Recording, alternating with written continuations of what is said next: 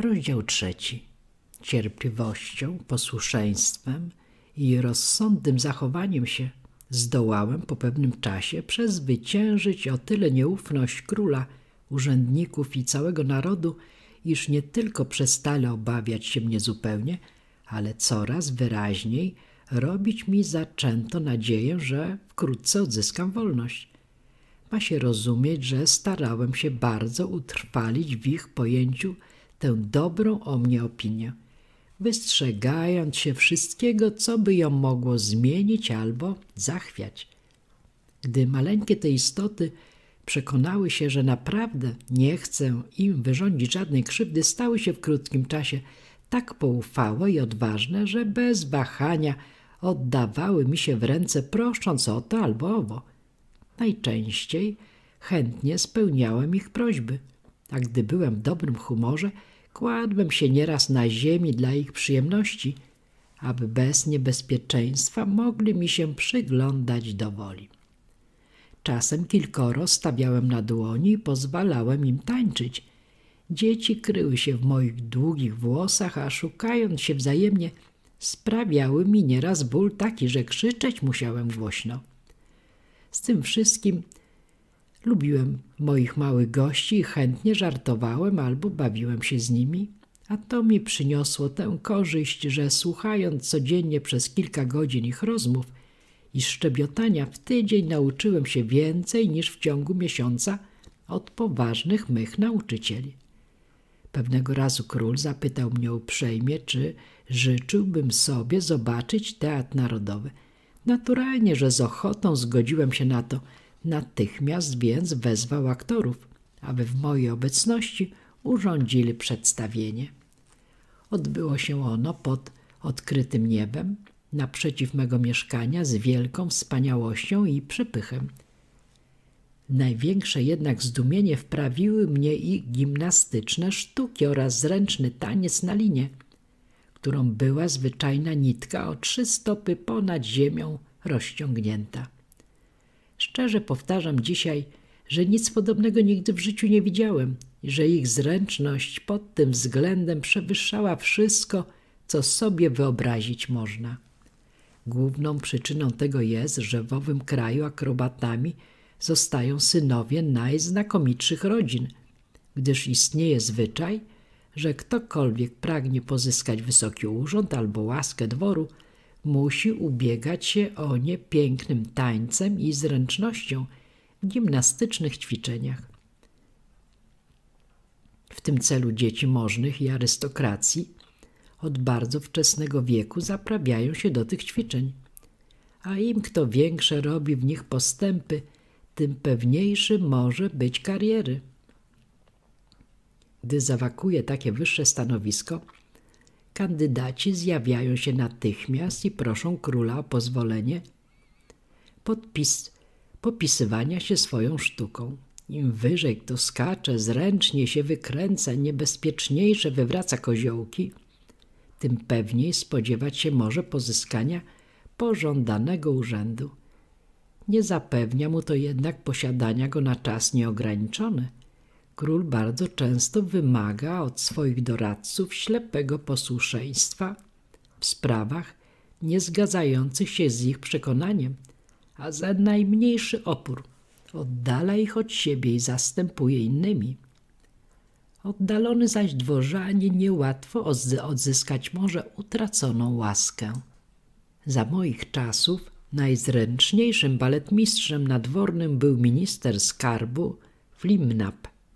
Skakał on wyżej o cały centymetr od największych znakomitości i, na, i nawet we wrogach swoich budził podziw i uwielbienie.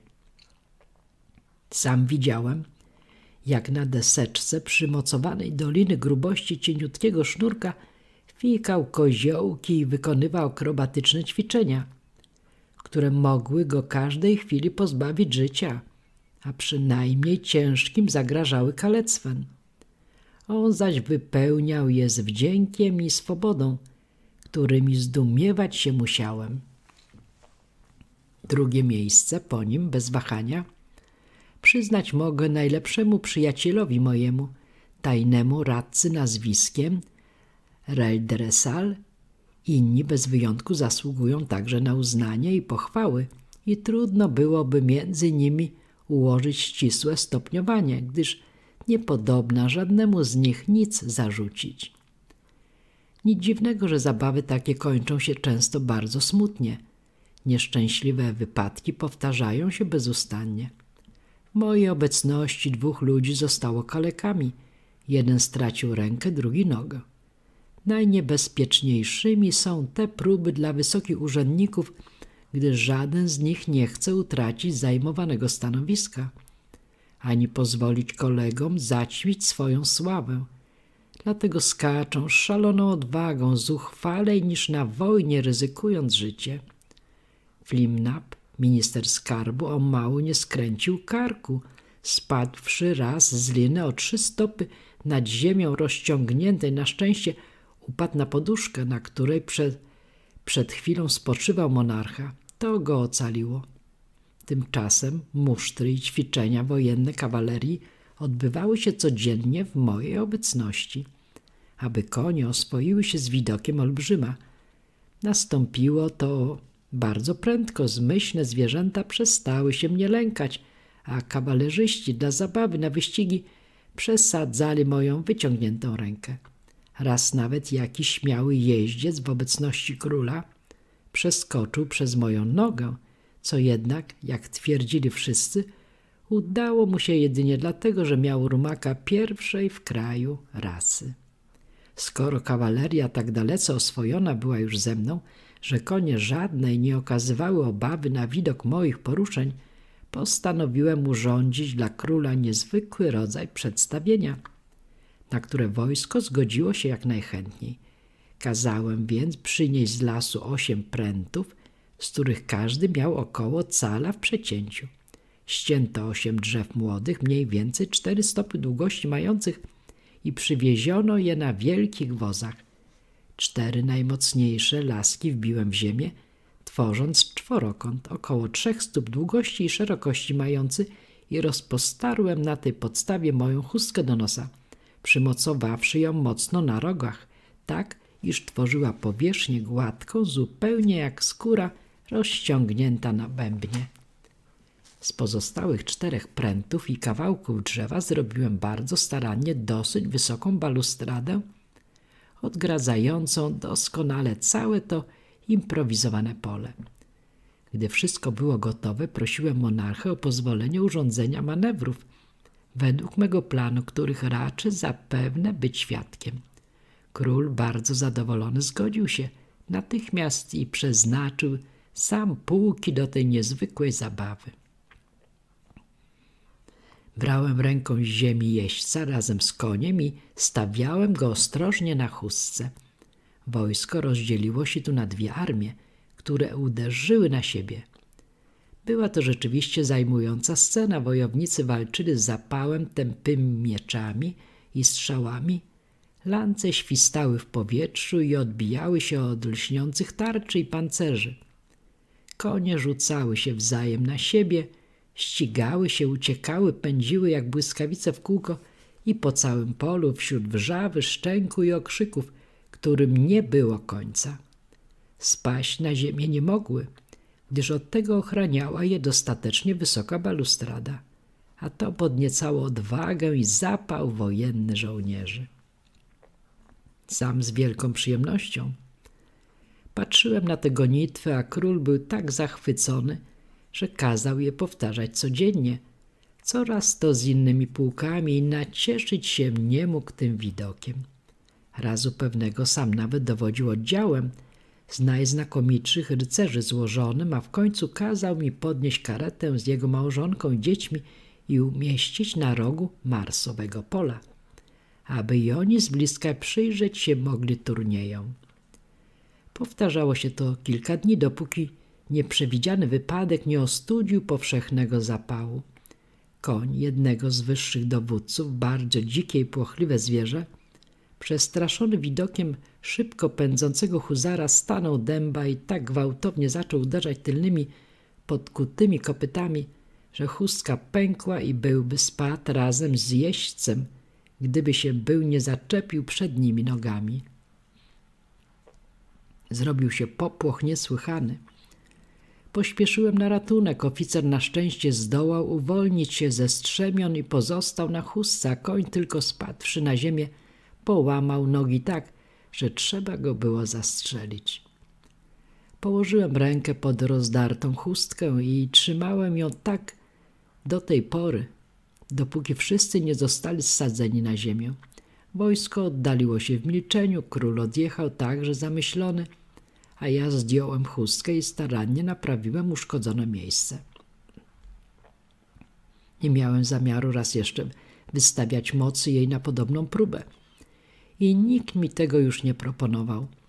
Urok nowości przeminął, zniknęła wiara w zupełne bezpieczeństwo tej zabawy i nikt nie miał ochoty rozpoczynać jej na nowo. Kilka dni po opisanych wyżej wypadkach przybyło do stolicy poselstwo z zawiadomieniem, że niedaleko od miejsca, w którym mnie znaleziono, morze wyrzuciło jakiś dziwny przedmiot, którego przeznaczenia odgadnąć nie mogą. Była to duża, ciemna, kanciasta masa wysokości człowieka dobrego wzrostu, o objętości sypialni królewskiej, niezbyt ciężka i nie bardzo twarda. Początkowo przypuszczano, że to nieznane zwierzę i obserwowano je tylko z daleka.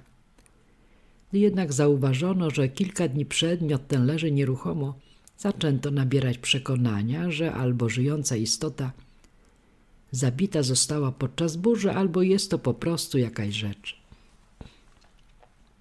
Zachowując wszelkie ostrożności, zbliżano się teraz do niego z tej lub owej strony, potem już bez obawy przyglądano się potworowi.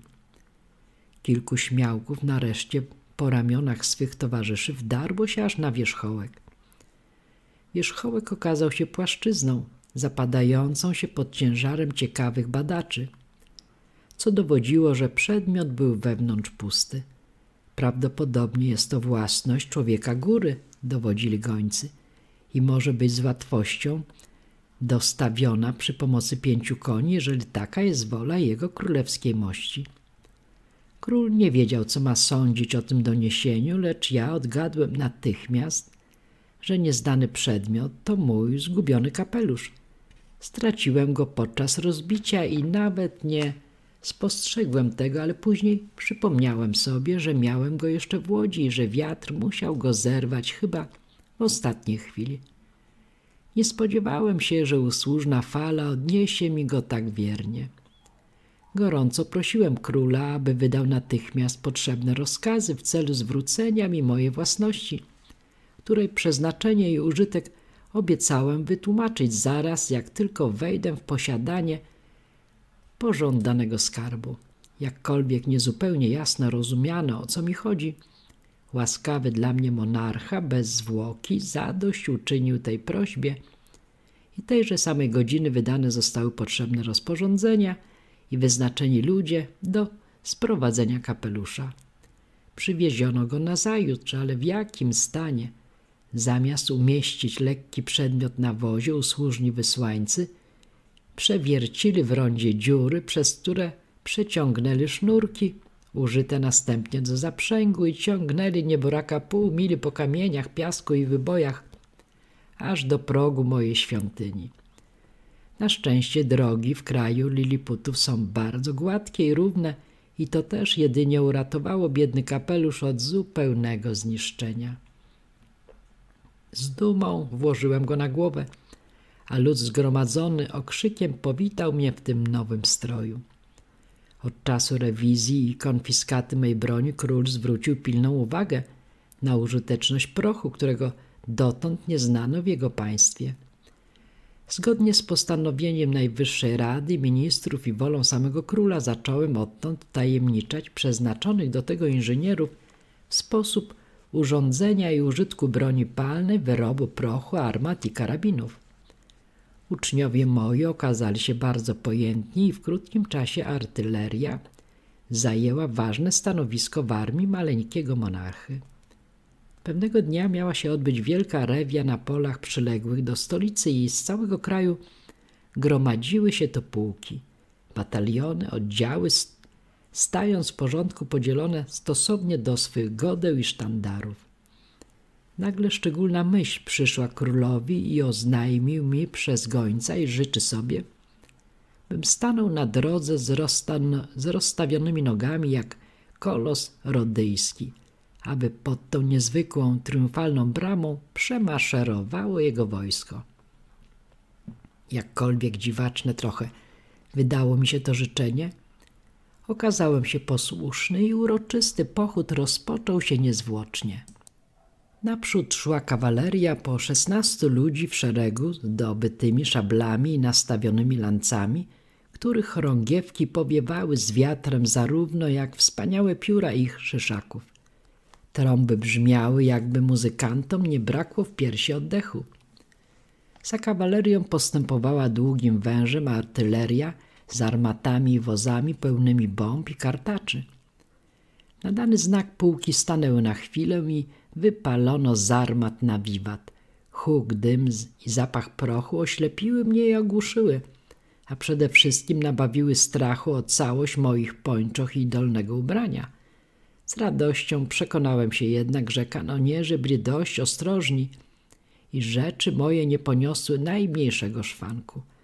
Po artylerii szła piechota, posuwając się naprzód zwartymi szeregami po dwudziestu czterech ludzi, grenadierzy, strzelcy, łucznicy, saperzy.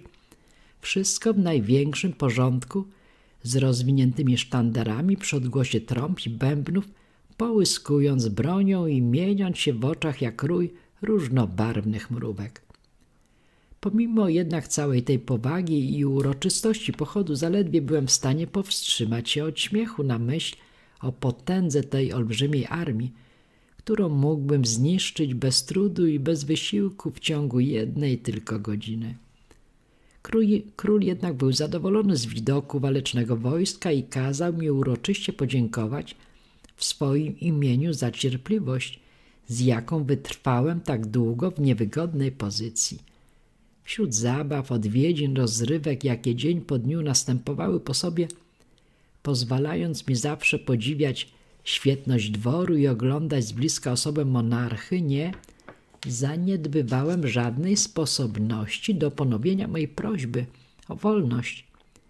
I powtarzałem ją tak często i przekonywująco, że król zdecydował się wreszcie przedstawić tę sprawę na Radzie Ministrów. Wiedząc, jak jestem powszechnie lubiany, nie spodziewałem się oporu i rzeczywiście oprócz jednego człowieka nikt nie sprzeciwił się temu.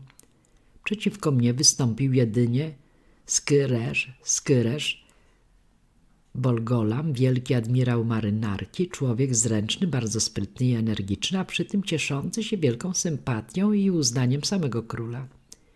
Nie wiem z jakiego powodu Skyresz, Bolgolam uważał mnie za wroga i usilnie nastawał na to, aby mi nie ufać i nieprzezornym krokiem nie narażać kraju całego na największe niebezpieczeństwo. Tak przecież przychylna dla mnie była opinia ogółu, że pomimo całego wpływu i znaczenia nie mógł dokonać nic więcej nad ustanowieniem warunków, pod jakimi miałem zostać uwolniony, które on sam za zgodą króla i ministrów przygotował i spisał. Warunki te miałem zaprzysiąc i w tym celu, skoro przyjęte zostały, zjawił się Skyresz Bolgolam w towarzystwie kilku wysokich urzędników pod moją zamiejską rezydencję i w obecności wielu świadków rozkazał sekretarzowi odczytać mi je głośno. Potem nastąpiła ceremonia przysięgi. Według miejscowego zwyczaju musiałem przy tym obrzędzie trzymać lewą rękę, prawą nogę, środkowy palec prawej ręki przyłożyć do czoła, a wielki do prawego ucha, co wszystko razem stanowiło niezbyt wygodną pozycję. I rad byłem szczerze, gdy na koniec wypowiedziałem już ostatni wyraz. Pozostawało jeszcze powtórzyć to samo w ojczystym moim języku. W jaki sposób, jak w moim kraju składają przysięgę, co też z gotowością uczyniłem. Warunki, pod jakimi wracano mi wolność, były następujące. Przytaczam je wraz ze wstępem, malującym pojęcia Liliputów o potędze swojej i swojego władcy. Golbasto, Momarem, Ewlame, Gurdillo, Szefin Mully Ully Gue, najpotężniejszy władca Liliputów. Postrach i rozkosz świata, którego potęga rozciąga się na pięć tysięcy blustrums aż do krańców ziemi, państwo jego miało około 12 mil w obwodzie. Król królów, głową sięgający słońca, pod stopami którego drży ziemia, a mocarze pochylają czoła przed wejrzeniem jego jasnych oczu, Pan łagodny jak wiosna, wspaniały jak lato, bogaty jak jesień, a dla wrogów groźny jak zima.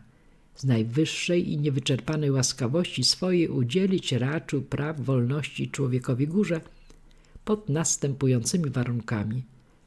Człowiek góra obowiązuje się nigdy nie przekraczać granic państwa Liliputów i nie opuszczać go bez osobnego zezwolenia jego królewskiej mości, udzielonego na piśmie z podpisami jego ministrów.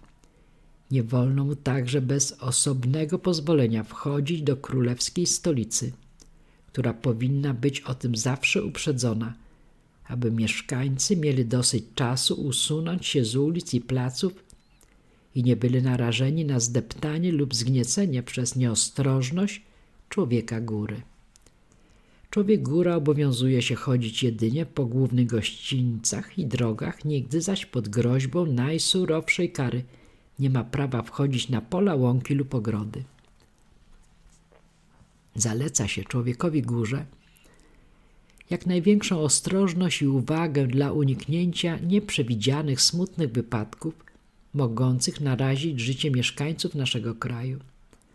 Zabrania mu się także pod karą śmierci podnosić ludzi z ziemi lub chować ich do kieszeni bez dobrowolnego zezwolenia z ich strony.